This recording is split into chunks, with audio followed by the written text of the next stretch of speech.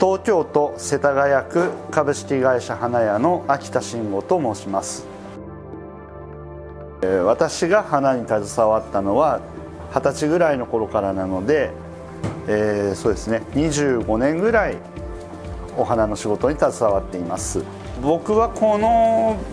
実家の店に戻ってきてはまだ5年ぐらいなんですけれどもそれまではあの都内の花店であったり、えー、地方の花店であったりと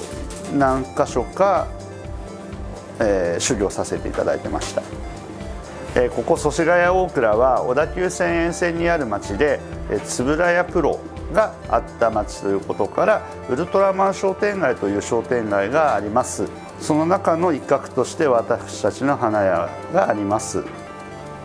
この花屋なんですけれども祖父の代から始まった商売になりまして私で今度3代目になるんですがあの駅前にお花を売ることで駅にいらっしゃった方それから駅から出かけて行かれる方を、えー、お花でお見送りやお出迎えをすることを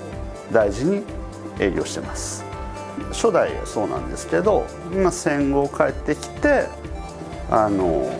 駅前に花があるような明るい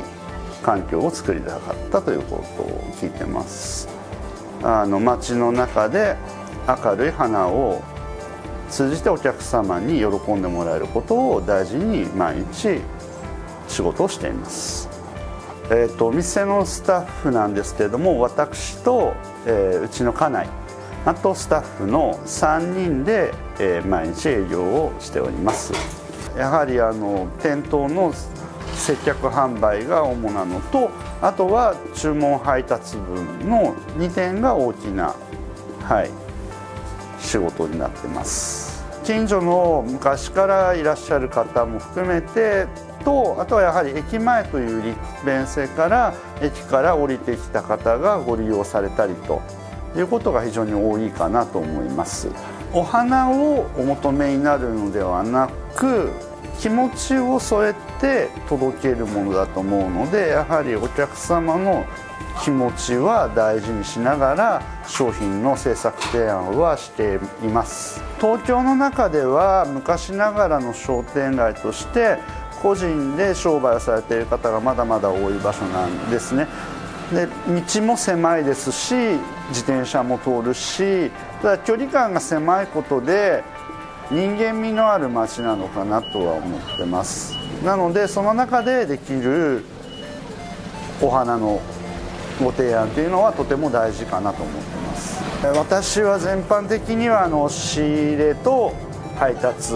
で空いてる時間で商品の制作ということが主になってくるかなと思います。ただお客さんと喋ることも大好きです、えー、ユリは古くから扱っている家財の一つであるので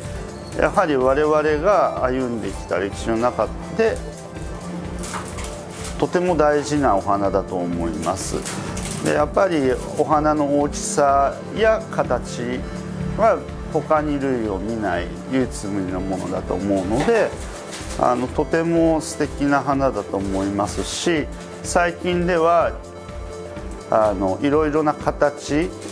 のユリなども新しく出てきているのでさらなる魅力を皆様に提案していけたらなと思っております。お花の魅力は自然の美しさを身近に楽しめることだと思います。是非皆さんお家でお花を飾って楽しんでみてください。